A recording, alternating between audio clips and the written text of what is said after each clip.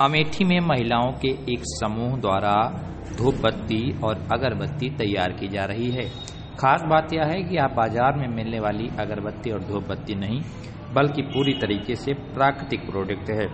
जी हाँ प्राकृतिक गोवर्धन धूप बत्ती और अगरबत्ती से लोगों को लगातार लाभ मिल रहा है। आपको बता दें कि समूह के माध्यम से लगातार महिलाएँ सशक्त बन रही हैं।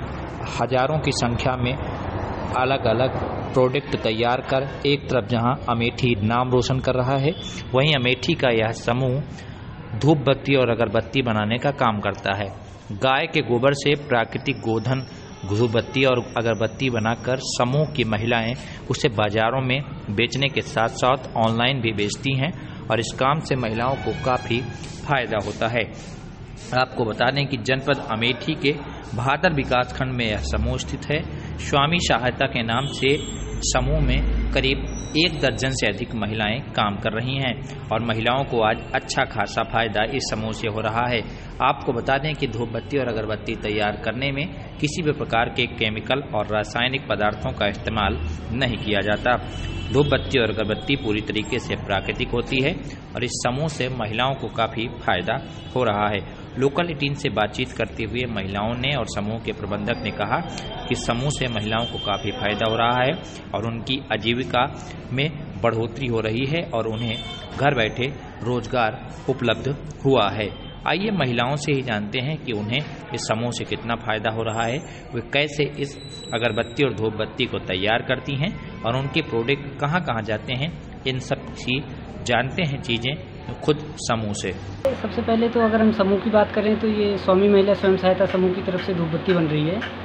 और इसमें चौदह महिलाएँ कुल हैं, जिसमें से हमने लगभग बारह से, दस से बारह महिलाओं को काम दे रखा है। अलग अलग काम है। धूपबत्ती में पाँच से छः महिलाएँ काम करती हैं। और ये हमारी प्राकृतिक गोधन धूपबत्ती के नाम से आती है।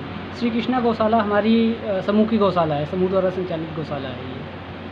और अब बात करें इसकी बनाने की तो ये पूर्णतः प्राकृतिक धूप बत्ती है, जो कि गाय के गोबर से और अन्य प्राकृतिक पदार्थों से बनाई जाती है। इसमें सुगंध के लिए भी किसी भी प्रकार के केमिकल का प्रयोग नहीं किया जाता है। जैसे कि अभी मार्केट में जो भी धूप बत्ती आ रही है या अगरबत्ती आ रही है, उसमें रसायनों का प्रयोग किया जाता है।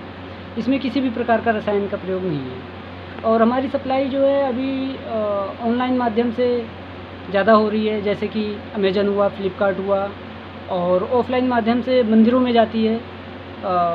यहाँ मुरादाबाद के मंदिर में जाती है देहरादून के मंदिरों में जाती है और लोकल में माँ कालिकन धाम है चंदिकन धाम है यहाँ पर हमारी धूप बत्ती जा रही है। फ़ायदा हो रहा है इससे? जी हाँ बहुत फ़ायदा हो रहा है। महिलाओं को भी रोज़गार मिला है। महिलाओं को सबसे बड़ी बात यह है कि गाँव की इकोनॉमी गाँव की इकोनॉमी को हम मतलब कि ये रोज़गार गाँव की इकोनॉमी को हम बढ़ाने अच्छा का काम इतना बेहतर है बहुत फ़ायदा होता है। और जब वहाँ कुल धाम में जाती है घर यूज़ करती है। जी। जी जी। फ़ायदा होता है इससे? फ़ायदा बहुत होता है। जी जी। कैसे तैयार करती हैं इसको आप? सब जो रहा है एक तैयार हो जाए। हम सब यही मार के काम करी थे हमको सबका लाभ मिलता है अच्छा जब पहले काम नहीं था आप लोगों के पास तो किस प्रकार की दिक्कत थी? ना काम रहा तो पैसे की दिक्कत रहा ना यार वार निकल जाते रहे हैं ऐसा यहाँ घरे रही छाहत छाहत धूप नहीं लगा। काम भी मिल जाता है। काम भी मिल जाता है। फ़ायदा होता है। फ़ायदा भी होता है। ठीक है।